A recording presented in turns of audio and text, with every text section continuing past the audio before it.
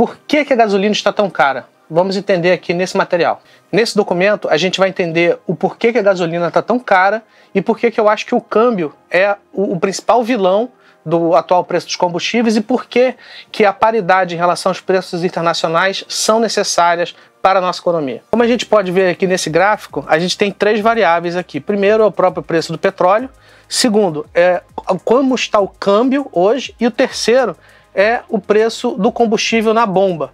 Como a gente pode perceber, o, o preço do petróleo ele está muito longe das suas máximas históricas. Entretanto, o câmbio ele está nas suas máximas históricas em, em termos nominais. E a gente vai entender o porquê disso. As pessoas perguntam muito se nós somos autossuficientes em petróleo. E de fato, quando a gente olha o a quantidade de barris produzidos ao dia versus o quanto a gente consome, de fato, existe um superávit muito interessante aí. Mas será que a gente é autossuficiente de verdade? Preste atenção nesse gráfico. Esse gráfico mostra o tipo de petróleo que o Brasil produz. O petróleo, ele não é uniforme, ele tem características diferentes ao redor do mundo. E a, as métricas internacionais decidiram separar o petróleo por três tipos: o petróleo leve, o petróleo médio e o petróleo pesado. Então, como a gente pode perceber aqui nesse gráfico, o petróleo leve do Brasil, ele produzido ele representa somente 2,3% da nossa produção. O petróleo pesado representa apenas 6,5% da nossa produção, enquanto que praticamente 90% da nossa produção é considerado petróleo médio. E o que, que isso quer dizer?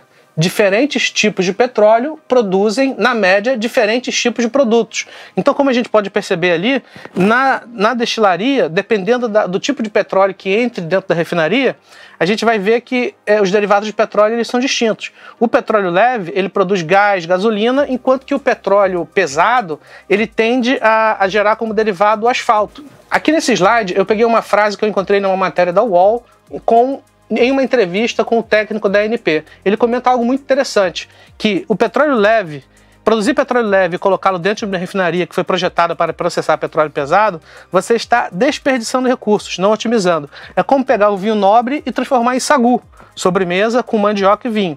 Você estaria desperdiçando recursos, porque o sagu deveria ser feito com vinho barato. Então o que eu quero dizer com isso? É que diferentes tipos de petróleo produzem diferentes tipos de produto.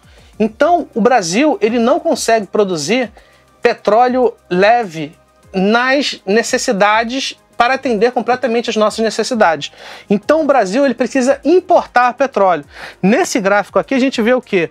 O quanto qual é a equivalência de importação de barris de petróleo que nós precisamos fazer ao longo do ano e o dispêndio em bilhões de dólares nos últimos anos. Então, como a gente pode perceber, no ano de 2019, que é o último ano disponível no anuário da Agência Nacional de Petróleo, a gente teve que gastar quase 5 bilhões de dólares em importação de petróleo.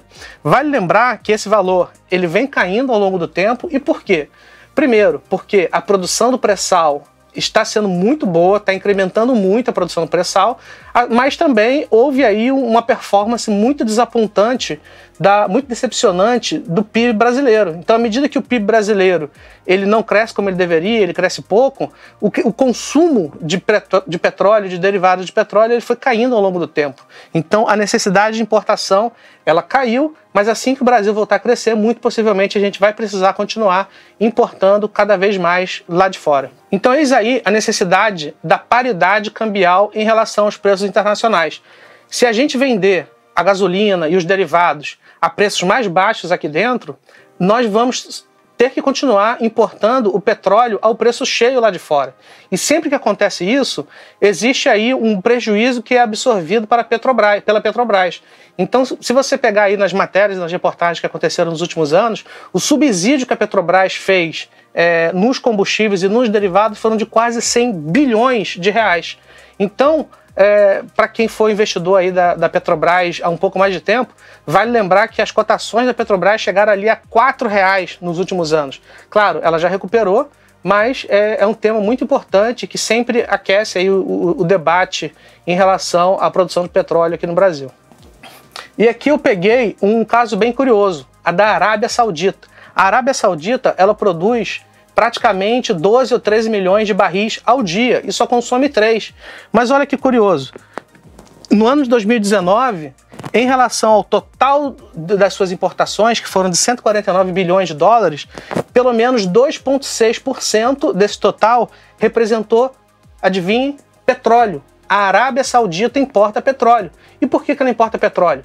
Porque mesmo a Arábia Saudita, ela não consegue produzir petróleo para atender 100% das suas necessidades. Se lembra quando lá atrás eu expliquei que diferentes tipos de petróleo produzem diferentes tipos de produto?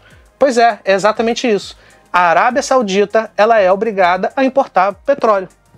A nossa gasolina é a mais cara do mundo? A resposta é não. No documento que nós publicamos na página da Genial Analisa, tem ali uma análise de 166 países e seus respectivos preços. Perceba que o Brasil ele está no meio do caminho. Ele está no, no, ranking 88 entre 166 e 167 países. A Venezuela tem a gasolina mais barata do mundo, se contado em dólares, enquanto que Hong Kong tem a gasolina mais cara do mundo. Quantos litros de gasolina o salário mínimo pode comprar? Como vocês podem perceber, o salário mínimo, em termos nominais, ele evoluiu ao longo do tempo. Infelizmente, com a desvalorização da nossa moeda, ocorreu um empobrecimento da população quando a gente pensa em produtos dolarizados. À medida que houve a, a precificação do, do, do, preço dos combustíveis aqui no Brasil em relação ao mercado internacional, a famosa paridade, isso fez com que o nosso poder de compra em relação a litros de, de combustíveis ele fosse reduzido infelizmente, o, o, salário mínimo brasileiro ele consegue adquirir menos litros de combustível. Além disso, como a gente sabe, né, depois de um ano de pandemia, houve aí aumento do desemprego, desaceleração econômica, uma série de efeitos deletérios na nossa economia. E os preços de petróleo, se eles ficarem continuamente em níveis elevados, isso é ruim? Isso é negativo? Não necessariamente. Nos anos 70 houveram aí as crises de petróleo, então é, a economia ela reagiu é, de uma maneira bem interessante. Então, por exemplo, na Europa, houve a nuclearização da Europa, então são uma série de usinas nucleares, elas passaram a ser produzidas para reduzir a dependência do petróleo. É, houve também a exploração de novas áreas, sempre que o preço do petróleo sobe, áreas que antes não eram economicamente viáveis passam a ser. É, e na década passada, para quem não lembra, o petróleo ficou aí na casa dos 100, 110 dólares o barril. E o que, que aconteceu principalmente nos Estados Unidos? Você teve a evolução de tecnologias que não eram dependentes do petróleo.